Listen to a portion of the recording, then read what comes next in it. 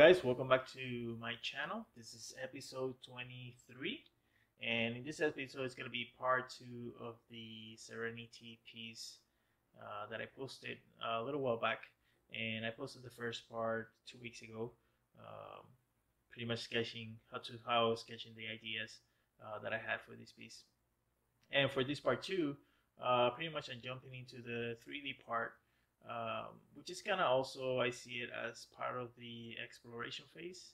Uh, because sometimes uh, even though I do a um, Photoshop or hand drawn sketch, uh, sometimes I put it in the 3D world and then some things stop working or, they look different or um, something could happen that changes the, the whole um, not the whole but the general idea or the design.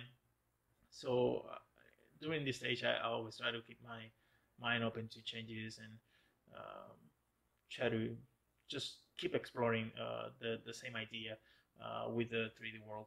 And this is going to be a short one, but pretty much I'm just making different assets and uh, building basic shapes for the whole scene.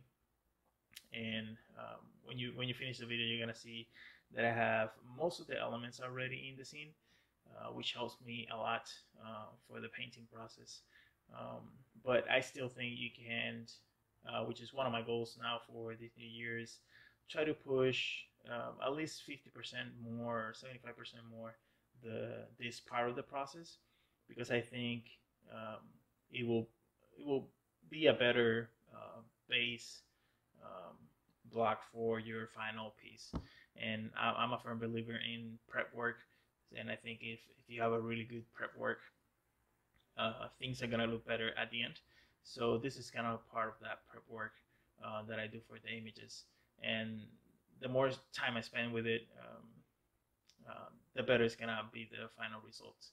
Now this doesn't mean that uh, the model is gonna be uh, perfect, that it's a perfect 3D model because I don't consider myself a 3D artist, but I'm just using it as a resource and uh, just kind of like help for me to uh, bring the idea to life, which to me is, is the is the goal for for all the images.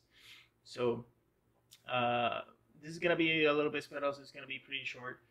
It's gonna be about six minutes and a half, seven minutes, and um, I'm just gonna let it play. And um, I'm not using anything fancy in terms of like tools.